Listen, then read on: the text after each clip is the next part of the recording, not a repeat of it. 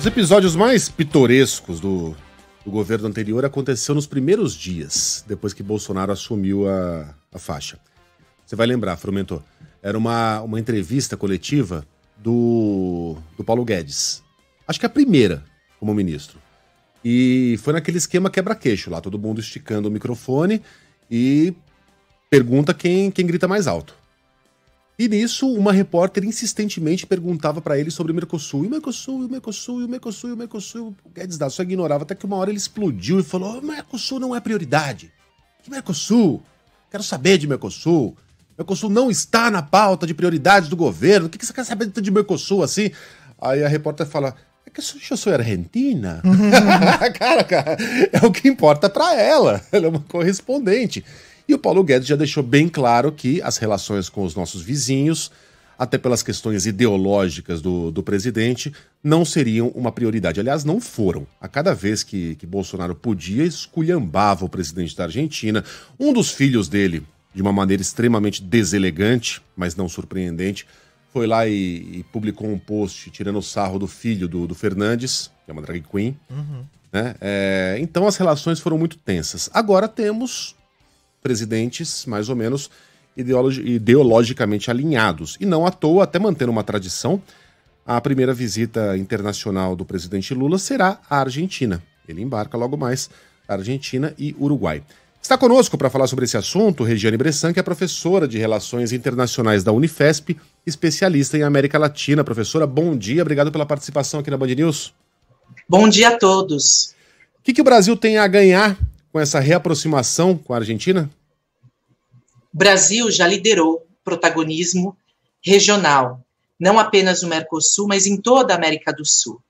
Com a mudança de governo, a gente deve retomar esse protagonismo e recuperar, inclusive, relações políticas que são muito importantes, não apenas na área diplomática, como na área econômica. A gente não pode esquecer que o principal mercado para os nossos produtos industrializados é ainda a Argentina. Então, o principal parceiro de commodities, de matérias-primas, é a China, Estados Unidos, mas os nossos produtos industrializados é a Argentina. Então, retomar essas relações é importante também para a área econômica. Além disso, a gente fortalece é, a agenda internacional em áreas importantes e estratégicas para o país, áreas, questões de fronteira, por exemplo. Então, retomar essa relação é crucial para o protagonismo, para a inserção brasileira na região. Eu não sei se essa estatística continua valendo. A Argentina é a nossa terceira parceira comercial, né? Exatamente. Para produtos industrializados é a primeira, mas é a principal, é, é a terceira é, no ranking geral. E a reaproximação do Brasil com a Venezuela? A Venezuela, essa sim, né? Teve relações cortadas com, com o Brasil é, nos últimos quatro anos. O que, que pode haver de, de interessante para o Brasil nessa relação com, não esqueçamos, um, um ditador, que é Nicolás Maduro? Megali, o que, que eu defendo é, em relação a, a, ao Brasil se aproximar da Venezuela? Imagine que nós sempre faremos fronteira com a Venezuela. Problemas de interdependência sempre vão acontecer. Questões de migração, é, questões sanitárias, ambientais. Então, reestreitar ali as relações não é apoiar exatamente o governo do Nicolás Maduro. Aliás, o que, que o, o, Lula já tem dito e já tem colocado né, é, às claras essa estratégia? Da, da região ajudar a Venezuela, inclusive, para voltar para o cenário democrático, que é defendido no âmbito do Mercosul. Nós temos o Mercosul, o Protocolo de Ushuaia, de 1999, que pede, que exige que os países sejam democráticos. Então, essa reaproximação não significa apoiar o governo de Nicolás Maduro, mas, primeiro, defender os interesses do Brasil, porque sempre teremos questões de interdependência. Faremos fronteira hoje e sempre. E, além disso, tentar uma estratégia para ajudar o país. E quando eu falo país, não é governo, a gente não pode se esquecer. Uma coisa é Venezuela enquanto país, sociedade, outra coisa é o governo que está lá agora. Esse governo não é, é, é, é eterno. Então, a ideia de reaproximar é, inclusive, tentar mudanças que os demais países da região não estão conseguindo, não conseguiram nos últimos anos. Então, eu vejo como uma estratégia bastante importante. Eu acho que o Lula consegue ter né, um, traquejo, uma facilidade já demonstrada nos outros mandatos para esse tipo de negociação. Eles não são pessoas, né? É, é, extremamente infantil você romper relações com o vizinho por diferenças ideológicas. Você rompe relações com pessoas, com um cara que trabalha com você, que é um machista, babaca, enfim, te faz mal, você vai lá e rompe. Países não são amigos, países têm relações comerciais, inclusive com ditaduras. Você não precisa necessariamente concordar com, com os atos de determinado governante para fazer negócios com o país. Veja aí os Estados Unidos, que pragmatica, pragmaticamente estão comprando petróleo venezuelano estão liberando a exportação do petróleo venezuelano para a Europa, porque o bicho está pegando lá devido à guerra na Rússia. Então, é, um governo que se, diz, se, dizia não ideológico, né? Que acusava o governo anterior de ter governado ideologicamente, foi o mais ideológico de todos. Frumento. Acho que a professora tem uma observação, porque eu vi que ah, quando perdão, você professora. comentava, ela fez ali um sinal. Exatamente. Ao longo é, de todo esse século, os Estados Unidos se mantiveram como o principal parceiro comercial da Venezuela. Então, a despeito de toda a diferença entre Hugo Chávez e Nicolás Maduro em relação aos Estados Unidos, eles nunca deixaram de fazer comércio. Isso é importante. Então, eu concordo com vocês quando a gente fala né, do, do governo anterior, que teve é, uma postura bastante infantil e eu vou além, até medíocre, né? Porque é, as relações internacionais, elas exigem que nós tenhamos é, objetivos estratégicos para o nosso país, e não é uma questão de, ah, eu concordo, eu discordo, sobretudo com os países com os quais a gente faz fronteira. No caso, como o Brasil faz fronteira com grande parte, com a maioria dos países da América do Sul, é importante que o Brasil tenha relações profícuas, relações é, ativas para cuidar dos seus interesses é, em relação às fronteiras e todos os temas de interdependência. Bom, a gente tem falado aqui dessas relações bilaterais entre Brasil e outras é, nações, mas o presidente Lula está indo à Argentina justamente para participar da sétima cúpula da comunidade de estados latino-americanos e caribenhos. O ex-presidente Jair Bolsonaro é, não tinha participado das últimas cúpulas, o Brasil estava um pouco afastado deste bloco. Tem também a questão do Mercosul, que antes era um bloco é, que andava mais unido do que hoje em dia. É, e eu queria perguntar justamente sobre a importância destes blocos que reúnem aí diferentes países. A gente tem visto cada vez mais uma escolha da negociação país com país, né, dessas relações bilaterais, mas a gente vê uma busca aí desse novo governo de reforçar estes mecanismos, organismos que reúnem aí diferentes é, nações. A gente deve ver um fortalecimento do Mercosul e também desses outros blocos aí de países da América Latina a partir de agora e a importância disso.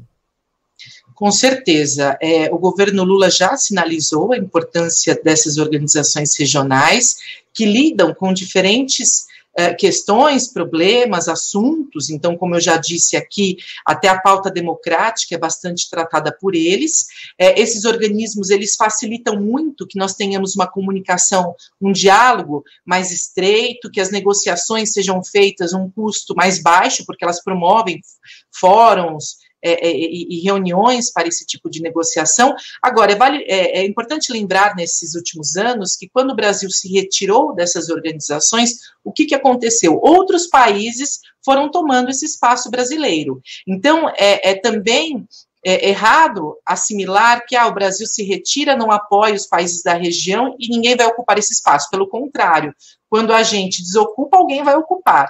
Então, no caso da CELAC, o que, que a gente percebe? O México acabou liderando essa organização regional. E no caso do Mercosul, quando o Brasil é, é, não intensifica ou desestimula o comércio e as relações, é mais uma forma da China se fazer presente na região. Lembrando que a China, hoje em dia, ela não apenas é, se faz presente em termos comerciais e econômicos, mas também começou a participar, por exemplo, das organizações regionais, é, se atendo também às questões, às dinâmicas políticas estratégicas da região. Então, por isso que é importante que o Brasil ocupe esse espaço, independente de questões políticas e ideológicas, porque se a gente não ocupar, algum outro país, alguma outra potência vai ocupar e vai ganhar nessas relações. Então, por isso que é tão importante o Brasil aí voltar para o cenário regional. Aliás, a Argentina é um dos alvos da, da China nesse mega projeto de infraestrutura, né, professora? Exatamente. Então, a China já há bastante tempo vem desenvolvendo não só né, é, a Rota da Seda, que seria é, uma, uma, uma estratégia comercial de, de ligar os países, de intensificar o comércio, mas, por exemplo, as próprias, os próprios uh, megablocos regionais, que devem ligar aí os, todos os países do Pacífico, ou grande parte deles. Então, a Argentina acaba sendo, sim, é, um alvo uh, interessante para a China, que já não é de hoje, já há bastante tempo, e quando a gente enfraquece o Mercosul, a China, como eu disse, já vai se fazendo mais presente. Daí a importância do Brasil, e veja que o Brasil, nessa reunião da, da semana que vem, não só vai tratar de questões econômicas. Então, um ponto importante é a negociação do gasoduto entre Brasil e Argentina, que é de interesse brasileiro. Além disso, cooperação científica e logística nas estações uh, da Antártida. É um outro ponto que eles vão tratar. Então, nós temos uma dezena de assuntos que ficaram, enfim, é, à mercê, né, de, de interesses é, de terceiros é, no último governo, e que o Brasil agora deve retomar aí o interesse e o protagonismo. Professor, a gente tem falado aqui da relação justamente entre Brasil e Argentina, também do fortalecimento do Mercosul, mas aproveito a participação da senhora aqui justamente para a gente falar também de outras viagens previstas para o presidente Lula nos próximos meses. Né? O presidente que deve ir também aos Estados Unidos no dia 10 de fevereiro e também já tem aí programado uma viagem para a China em março. Antes disso, recebe as visitas aqui no Brasil de Olaf Scholz, que é o primeiro-ministro da Alemanha, e também existe a negociação para a vinda de Emmanuel Macron ainda em fevereiro. É, o Brasil tem se reaproximado aí de países que estavam um pouco afastados, existe muita questão do clima também em discussão neste momento. É, mas qual deve ser o foco dessas conversas, principalmente quando o presidente vai a dois dos principais parceiros comerciais logo na largada do mandato, né? Tanto aos Estados Unidos quanto para a China? O que nós estamos percebendo é justamente um interesse uh, do Brasil em retomar uh, o que foi o Brasil no começo desse século. Então, um, um, um jogador global, né? Um, um, um, país que se relaciona bem não só na região com o seu protagonismo, mas também se relaciona muito bem com os países desenvolvidos com, o qual, é, com os quais nós temos diversos interesses interesses bastante pragmáticos nas áreas econômicas e comerciais. Em relação à visita à China, é, fica muito claro o interesse do Brasil em, em retomar uma relação bastante frutífera e, e, e, apagando um pouco das dificuldades criadas no governo, é, do governo anterior em relação à China.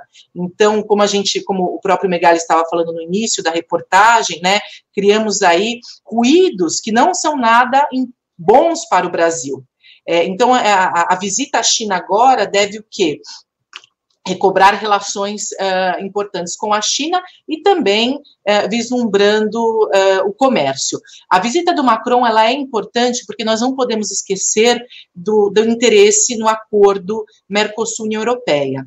Então, nós retomamos esse acordo, uma negociação que dura mais de 20 anos, nós retomamos isso no, em 2019, havia muito é, entusiasmo que esse acordo acontecesse entre União Europeia e Mercosul, no entanto, quando houve um aumento vertiginoso do da, da, desmatamento da floresta amazônica, isso acendeu um alerta para os países europeus que exigem que nós sigamos o Acordo de Paris. E com isso, o acordo, mais uma vez, ficou estagnado. E houve, naquele momento, é, trocas também muito ruins para o Brasil, né, entre Brasil e a França em relação à preservação da floresta. Então, os presidentes trocaram várias uh, faíscas, foi um momento muito difícil. Então, a visita do Macron deve recobrar né, os ânimos, as relações positivas entre Brasil e França, e, além disso, deve intensificar o retorno é, do acordo, sobretudo porque vejam bem como é, a nossa ministra atual do Meio Ambiente, a Marina, ela brilhou né, no, no Fórum de Davos nessa semana que se conclui hoje. Então, é, o que acontece? A pauta ambiental deve ser a grande bola da vez da política externa do governo Lula. Por quê? Porque é um grande apelo das relações internacionais atuais. Então, hoje em dia, é, o, o tema do meio ambiente ele entra de maneira transversal nas diferentes pautas das relações internacionais. E o Brasil tem muito a contribuir, como contribuiu na Eco 92, quando o Brasil cediu a principal e a maior é, Conferência Internacional do Meio Ambiente, que já existiu. E o Brasil se tornou, naquele momento, um protagonismo, um protagonista, um país que sediou aquela reunião e tem muito a contribuir para o mundo quando ele não só abriga a maior floresta é, tropical, mas também é, biomas como o Pantanal, que são biomas é, é, exclusivos ao Brasil. Então, o Brasil, pelo seu tamanho, pela sua potência, pela sua biodiversidade, tem muito a, a contribuir na temática ambiental. E com isso, o país conseguindo alinhar todos esses temas, né, comércio, um comércio europeu que já pede proteção, que já pede o, o real desenvolvimento sustentável, que já pede né, um respeito ao meio ambiente, o país conseguindo alinhar tudo isso, ele vai ganhar muito. O Brasil pode ganhar muito nas relações internacionais atuais. Regiane Bressan, professora de Relações Internacionais da Unifesp, especialista em América Latina, muitíssimo obrigado por ter acordado cedo, em pleno sábado. Bom fim de semana para a senhora, até a próxima. Um abraço a todos, até a próxima.